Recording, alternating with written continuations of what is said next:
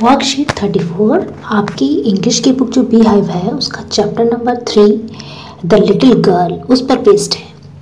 आपको एक comprehension passage दे रखा है, आपको उस पैसेज को रीड करना है and then you have to answer the questions the little girl is a story about Kezia who is afraid of her strict father little girl एक लड़की की स्टोरी है, जिसका नाम केजिया है, जो अपने स्ट्रिक्ट फादर से बहुत ज़्यादा डरती है। So she stammered while talking to him stammer का मतलब होता है हकलाना। वो अपने फादर से बात करते समय हकलाती है। She thought him to be a giant sized उसे ऐसा लगता था जैसे उसके फादर एक बड़े से जायंट जायंट होता है, राक्षस जैसे हैं। On Sunday grandma send her to spend time with parents उसकी दादी ग्रैंड माँ हर संडे केजे से कहती थी कि तुम अपने पेरेंट्स के साथ जाके टाइम स्पेंड करो but she found a father lying down on the sofa to relax लेकिन वो देखती थी केजिया कि उसके फादर सोफा पर लेटे रहते हैं रिलैक्स होने के लिए, और मदर बिज़ी रीडिंग और मम्मी उसकी रीडिंग में बिज़ी रहती थी। One day when she was at home because of cold, grandma suggested her to prepare a gift for father's birthday. एक बार जब ठंड के उसको सर्दी लगी केजिया को कोल्ड हो गया वो घर पर रही तो उसकी दादी ने उसे सजेस्ट किया कि तुम्हारे फादर का बर्थडे आ रहा है तो तुम उनके लिए कोई गिफ्ट बनाओ she prepared a pin cushion with a beautiful yellow silk cloth उसने एक कुशन बनाया जिसमें कि सुंदर सा जो कि सुंदर सा येलो सिल्क के कपड़े का बनाया। अब उसे, उसको कुछ भरने के लिए कुछ स्क्रैप चाहिए। स्क्रैप का मतलब होता है कोई वेस्ट मटेरियल उसे चाहिए केजिया को। So she took some paper from parents room and tore them up to stuff them in the pin cushion अब उसने क्या किया? अपने पेरेंट्स के कमरे से थोड़े से कागज़ ले लिए पेपर्स ले लिए और उन्हें टोर मीन्स फाड़ दिया और उन्हें स्टफ़ मीन्स भर दिया पिन कुशन में। It was father's important speech for the port authority Kezia के फादर की कोई इंपॉर्टेंट स्पीच थी पॉट अथॉरिटी पे जो उन्होंने बोलनी थी उसके वो पेपर्स थे she found one found missing the whole house was search अब जब कागज़ नहीं मिले तो पूरा घर में सर्च किया गया खोज की गई so so, the servants and the Kezia were question और केजिया से और सर्वेंट से सवाल पूछे गए। Finally innocently Kezia admitted that she had torn them for her surprise gift और फाइनली केजिया ने इस बात को बड़े ही इनोसेंटली बड़े ही मासूमियत से एडमिट कर लिया, स्वीकार कर लिया कि मैंने आपके वो पेपर्स को फाड़ दिया था। किसके लिए? मैंने उस बर्थडे गिफ्ट जो मैंने क्वेश्चन बनाया था, उसमें फिल करने के लिए, उस सरप्राइज़ गिफ्ट के लिए मैंने उसको फाड़ दिया। Father beat her with ruler father ने उसे रूलर स्केल से पिटाई करी and she cried bitterly bitterly means foot फुट कर रोना। वो बहुत बुरी तरह से रोई।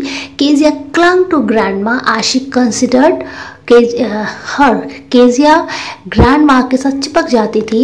जब वो डरती थी, जब वो रोती थी she clung to grandmother as she considered her next door table Mr McDonald played with her children in the evening उसके पड़ोसी थे एक केजिया के, जिनका नाम था मैकडोनल्ड वो अपने बच्चों के साथ जब शाम में खेलते थे तो केजिया उनको देखती थी। After watching him Kezia thought that they were different sorts of fathers तो के को एहसास होता था कि मैकडोनल्ड्स तो बहुत अच्छे हैं, वो तो अपने बच्चों के साथ इवनिंग में खेलते हैं, लेकिन मेरे फादर बहुत स्ट्रिक्ट है। इसका मतलब फादर भी अलग अलग तरह के होते हैं डिफरेंट काइंड्स के होते हैं। Sorts of father means different types of father one day mother got admitted to the hospital एक दिन उसकी माँ हॉस्पिटल में एडमिट हो गई। Kezia was alone at home अब केजिया घर में अकेली थी। The cook Alice to care of her in the day but at night she was alone दिन में तो उनका जो कुक था, जिसका नाम एलिस था, उसने उसकी केयर करी। बट रात में वो अकेली थी। फादर वो स्लीपिंग इज़ अनदर रूम उसके फादर एक दूसरे कमरे में सो रहे थे। फिर एक बार क्या होता है? Old nightmare nightmare का मतलब होता है भयानक सपना। केजिया को रात को भयानक सपने आते थे। Old nightmare haunted Kezia. Haunted मतलब उसको परेशान करते थे भयानक सपने। क्या सपना आता था? अब बूचर बूचर होता है कसाई। विद अ नाइफ उसके हाथ में क्या है? नाइफ है, छुरी है इन इज़ हैंड केजिया को सपने में एक बूचर दिखाई देता था। बूचर मतलब कसाई और उसके हाथ में एक नाइफ होता था। नाइफ मीन्स चाकू होता था और केसिया डर जाती थी। शी वोकअप क्राइंग अब केसिया को उस दिन भी वो सपना आया और वो जग गई और रोते रोते वो उठ गई। अब जब उसके फादर ने उसकी आवाज़ सुनी the father came to her room and hugged her उसके फादर उसके रूम में आए और उसे हक कर लिया। हक का मतलब होता है गले से लगा लिया and carried her to his room to comfort her और उसे अपने रूम में ले आए उसको कंफर्ट देने के लिए, उसको दिलासा देने के लिए, प्यार से उसके फादर केजिया को अपने रूम में ले आए। She realise he he was not so bad उस दिन केजिया को रियलाइज़ हुआ, एहसास हुआ कि जो उसके फादर हैं वो इतने बुरे भी नहीं है। He was too busy to express is love वो बहुत ज़्यादा बिज़ी रहते हैं, इसलिए शायद वो अपने प्यार को एक्सप्रेस नहीं कर पाते हैं, दिखा नहीं पाते हैं, जैसे कि मैकडोनल्ड्स दिखा पाते थे। Hence she realise her father had a big heart और केजिया को उस दिन ये पता लगा कि उसके फादर का बहुत बड़ा क्या है? दिल है। He has a big heart और जो केजिया की फीलिंग्स थी अपने फादर के लिए वो चेंज हो गई। अब on the basis of you reading the passage answer the following question आपको इन क्वेश्चन के आंसर्स देने हैं। First is Kezia was a afraid of a father because she was Kezia अपने फादर से डरती थी क्योंकि फ़र्स्ट है स्ट्रिक्ट थे वो। यस yes, वो स्ट्रिक्ट भी थे। Second is disciplinarian disciplinarian means discipline बना के रखने वाले। हाँ बिल्कुल। डिसिप्लिन भी बनाते थे। और थर्ड हार्ड वर्किंग तो इसमें से कौन सा ऐसा ऑप्शन है जिसमें आप ये लिखेंगे कि जो Kezia was afraid of her father वो अपने फादर से क्यों डरती थी? तो इसका आंसर होगा फ़र्स्ट वाला स्ट्रिक्ट क्योंकि बहुत ज़्यादा वो क्या थे? स्ट्रिक्ट थे।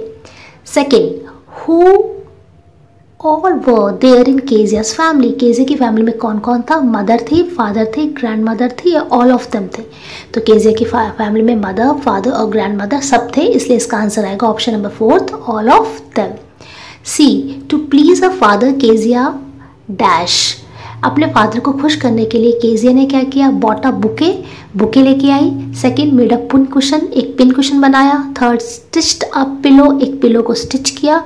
और फोर्थ प्रिपेयर टी चाय बनाई। तो इसका आंसर क्या होगा? इसका आंसर होगा सेकेंड वाला मेड अ पिन कुशन उसने पिन कुशन बनाया।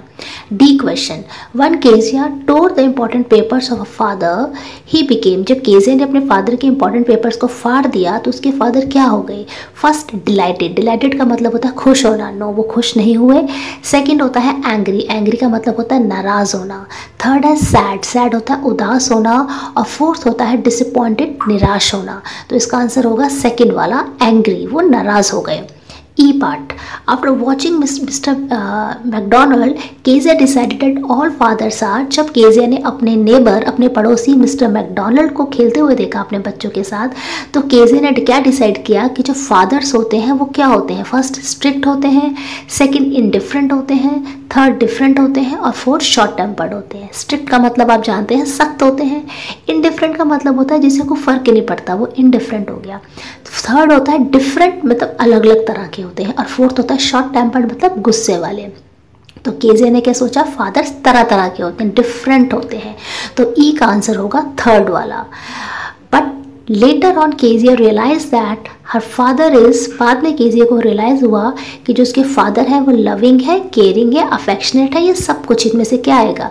यस yes, इसका ऑप्शन होगा फोर्थ यस फिफ्थ एफ़ वाले का आंसर होगा फोर्थ केजे के फादर लविंग भी है केयरिंग भी है अफेक्शनेट अफेक्शनेट मतलब भी होता है प्यार करने वाले लविंग और केयरिंग केयरिंग मतलब ख्याल रखने वाले लविंग मतलब भी प्यार करने वाले. अब पेरेंट्स और वेल विशर्स में not show their affection to us openly but they want us to see as हमारे माता पिता या हमारे शुभ चिंतक, हमारे वेल विशर ज़रूरी नहीं है कि अपना प्यार हमें दिखा सके ओपनली वो लेकिन हमें क्या देखना चाहते हैं? फ़र्स्ट इज़ हैप्पी वो हमें खुश देखना चाहते हैं। सेकेंड इज़ सेटल्ड वो हमें लाइफ में सेटल देखना चाहते हैं। और थर्ड इज़ सक्सेसफुल वो हमें सफल देखना चाहते हैं। जीवन में हम सक्सेस पाएँ, ये देखना चाहते हैं। यस वो तीनों क्वालिटीज़ हमें देखना चाहते हैं।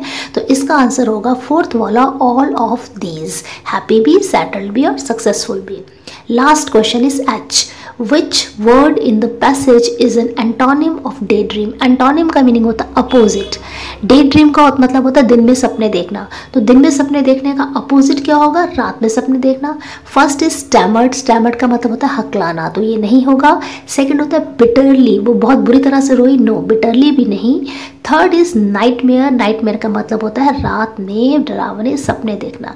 तो इसका आंसर होगा नाइट मेयर और फोर्थ इज़ हॉन्टेड हॉन्टेड भी एंटोनिम नहीं होगा तो डे ड्रीम का एंटोनिम मीन्स अपोजिट वर्ड होगा नाइट मेयर इस तरह से जो हमारी वर्कशीट नंबर थर्टी फोर है, जो आपका चैप्टर नंबर थर्ड आपकी बुक बी हाइव का लिटिल गर्ल पर बेस्ड है, हमने डिस्कस कर ली।